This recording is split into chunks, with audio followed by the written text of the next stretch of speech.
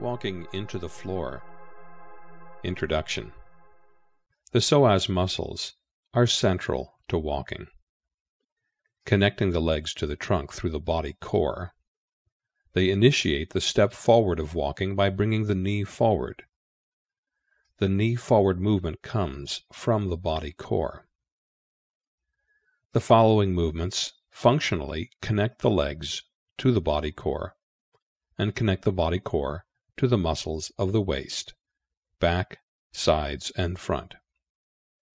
In walking, movement is initiated from the center of the body, generally in the abdominal area, through an act of elongation of the trunk and a movement of the pelvis in the direction of walking.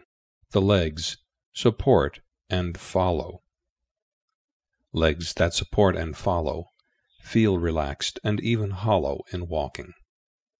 The expected outcome of this movement is an elongation of the reach of the legs from the body core through hips into the legs, which feel hollow and relaxed.